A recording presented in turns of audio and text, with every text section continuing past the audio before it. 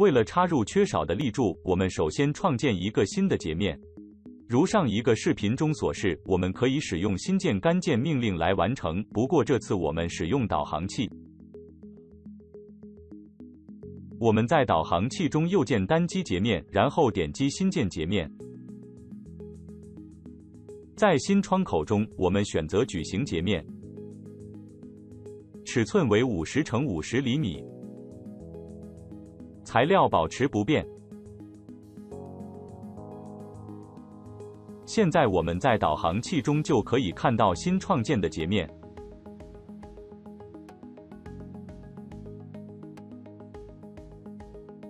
接下来，我们点击新建杆件。选择新创建的截面。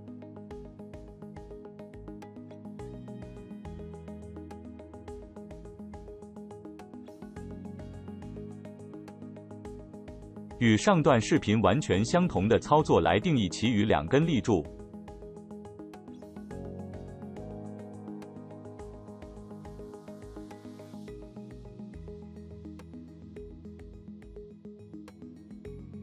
然后把它们镜像到另一侧。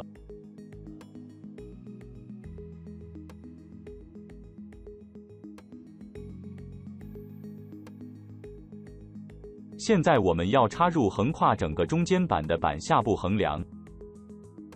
首先，我们在立柱之间定义新的线。我们先单击第一个和第二个立柱顶点，单击一次鼠标右键，然后再定义另一条线。在我们定义横梁之前，需要定义线与线之间的交点。我们先点击连接线或杆件图标，来创建焦点，然后选择所有的线。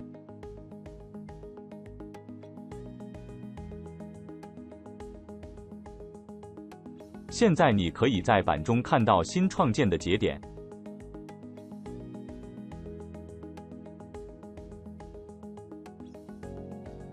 我们创建一个新的杆件，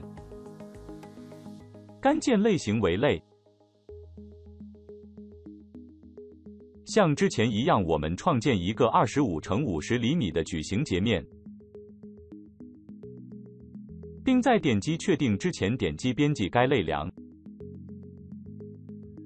我们需要横梁在板下方，因此选择其位置在面的 Z 轴正向方向一侧。当前有效宽度选择八分之一。接下来我们只需单击相应的线就可以插入类梁。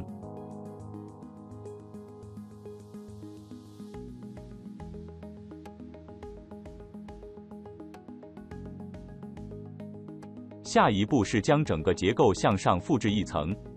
为此，我们只需要选择整个模型。点击复制和移动图标。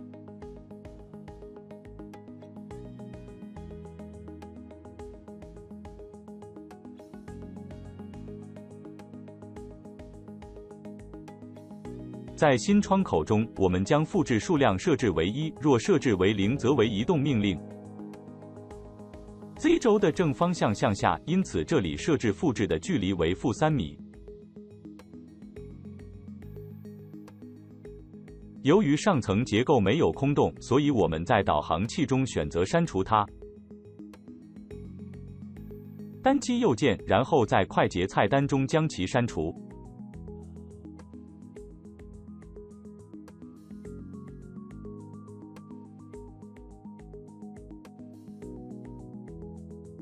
接下来，我们来定义两个横架。横架的材料为钢材 S 二三五。首先，我们来创建截面。我们点击新建杆件，然后在截面库中的压制工字钢截面中选择 HEB 两百。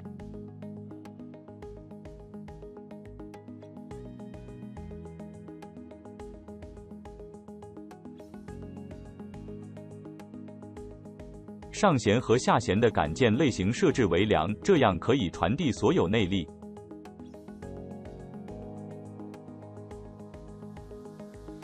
我们点击横架的两个端部节点，右键单击定义好的上弦，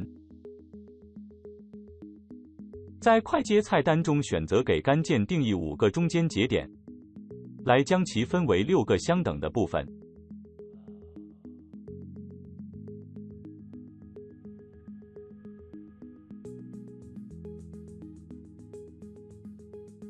在新窗口中，我们将节点数设置为五，然后单击确定。接下来，我们插入斜向负杆和竖向负杆。我们把它们定义为横架杆件，它们的端部为角接，也就不传递弯矩。我们再创建一个新的截面，其截面为欧标 H 型钢 HEB 一百。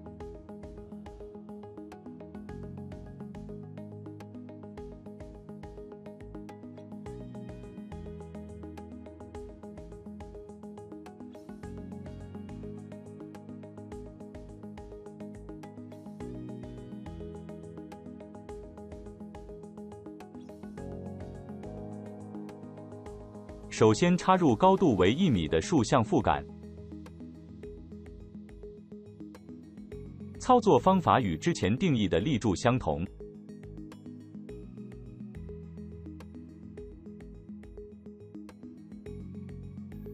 然后我们可以点击节点，轻松的以图形方式插入斜向负杆。但是首先我们必须取消选择长度和方向，才能启用任意的图形输入。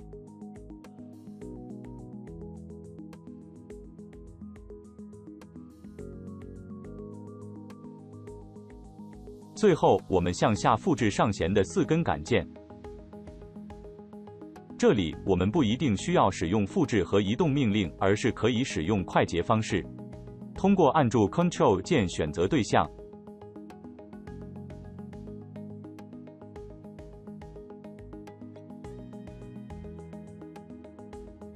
然后按住 Ctrl 键将其拖动到所需的位置来完成复制。